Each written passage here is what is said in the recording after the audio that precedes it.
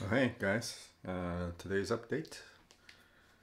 Today was the day that the um, hospice folks showed up, and we had the talks about what hospice is going to do, what they can do, um, what they provide, what they don't provide, and it was actually really a good meeting. Um, I got information about some resources that I didn't know about. Um, we made some decisions.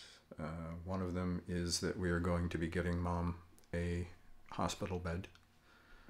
Uh, she's been having some issues with um, breathing when she's sleeping, so we want to be able to get her to sit up more, and she has acquiesced. It's not like her. Um,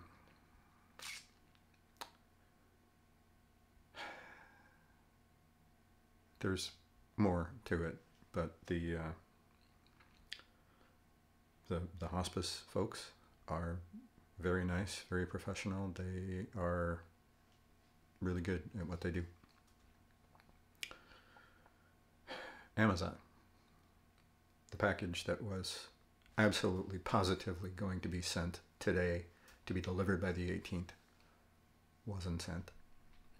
They've lost it it's lost in their system somewhere. They have the physical box somewhere, but they haven't ever assigned it to a carrier to ship, and they don't know when they can. I got a little heated. Um, I think I'm hitting stress overload. Um,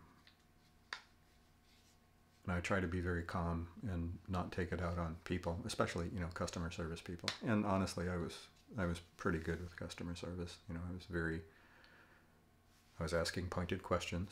It's like I was told this. Why did this not happen? And the whys were not answered.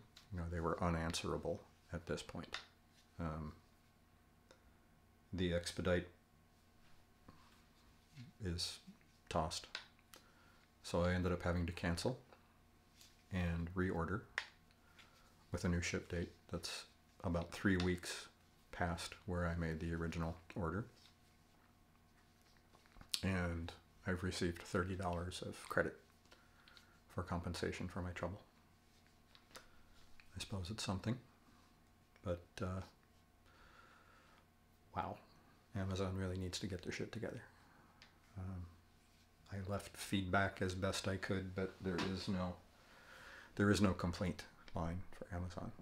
They only take feedback through their customer service rig, and you know that's all there is.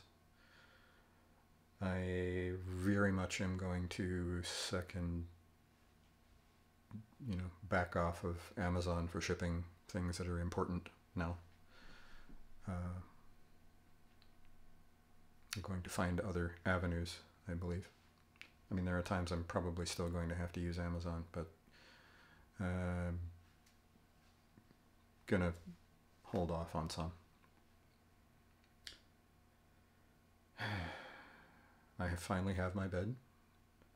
Uh, I got all my uh, my top mattress cover, and uh, I now have sheets and a comforter and pillows and everything. And I took it for a little test spin today.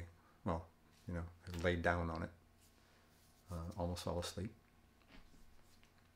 I'm exhausted. Cooked for mom tonight. Made uh, made some fried chicken thighs. She actually liked them. Fried chicken thighs, mashed potatoes, some cauli or some uh, broccoli. Uh, so, getting better.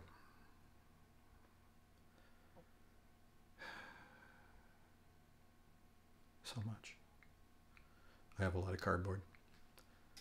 I am going to need to take some time and chop up cardboard.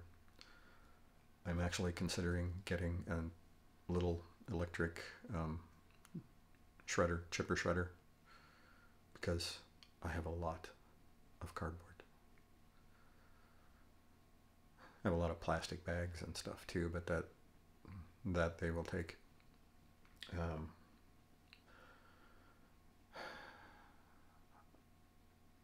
I'm stressed. I'm way, way stressed.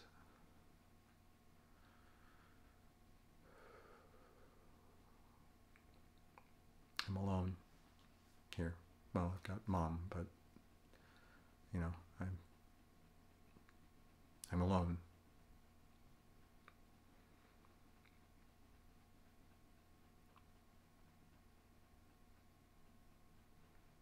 Got towels.